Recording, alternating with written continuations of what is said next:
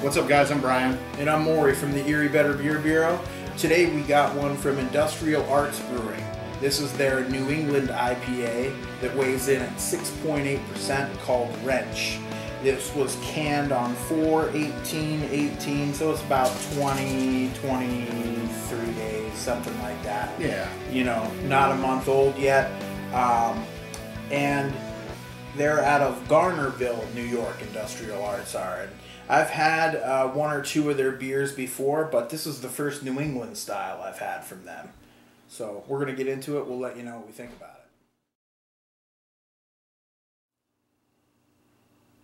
Wow. It's kind of juicy, man. It's Like, very I mean, juicy. I get uh, clementine, tangerine, orange, a Well- little bit of a mango, A little pineapple. Even a little bit of peach on the second go around. Yeah, you know, I mean, I know these New England IPAs like notoriously have a juicy aroma compared to you know your clear ones, which a lot of times they can be a little juicy and citrusy, but also piney and stuff. But this one is probably the most juicy uh, New England style I've put my nose to in a minute. Right. It really is super juicy. It's got a little bit of like floral note to it as well. A little bit, yeah. It smells incredibly soft, which is how I like them. I hope the taste follows suit because the aroma on this thing is like four seven five. Right. It's really good. I mean, you don't struggle at all. No, I mean you could, you this. know, like I said, peach, mango, tangerine, pineapple, all that stuff I'm pulling out of there. It's it's it's fantastic. Cheers.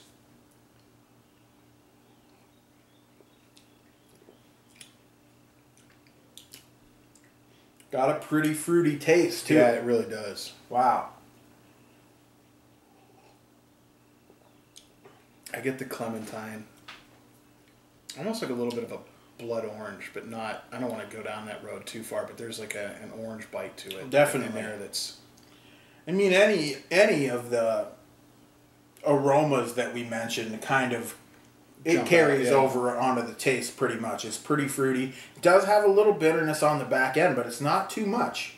You know, it's really well balanced. There's a pretty decent sweetness there. There's a good mouthfeel to it too. It doesn't kind of. Doesn't linger too long. Doesn't you know fade away too fast. It's just uh, right where it needs to be for this beer. It's a hot day up here in Erie. I mean, it's in the mid 70s. Feels more like 80s to me. It's Right. humid. Uh, this is a pretty refreshing, juicy beer. So, uh, good one for today. Um, you know, I don't know if it's quite as good as it was on the aroma, like as far as on the taste, but it is still really good. I'm, I'm between a 4.25 and a 4.5 on this beer. And I think I'm going to go ahead and round up to the 4.5. Um, I just wish the finish had a little bit more like fruity juiciness. It starts off that way, but I get a little bit more hops and floral notes on the finish. It's still really good. That fruit is definitely present, but if it had that finish and a little bit more of that lasting pillowy head, I'd be probably above a four and a half, no question, pushing four seven five. But as it is, this is a really good one. Four and a half. Uh, I'm gonna agree. Uh, I'm going four and a half. I was between the two. Uh, this beer is just it, it's just so well made. Um, the aroma's killer on it. Like you said, you know, if you were judging it just based on the aroma, you were giving it a four seven five out of the out of the gate, and it's Yeah. it's solid. Uh, I mean, it's in your face juiciness. Uh, like you said, you know, everything from clementines to pineapple to you know everything we named um, is on the aroma. You do get a lot of that kicking over to the taste. Right. Um, it does have a solid, in my opinion, head retention. You know, I was, I was above a four two five to begin with, and you know, I just, I just feel like looking at it, I'm going up to the four four five. Um, it's a, it's a solid beer, and uh, glad we got to review it. And I'm going to thank my brother-in-law, Mike, Yeah, thanks uh, for for Appreciate getting it. this to me, and uh, really appreciate it. So, Till next time, guys.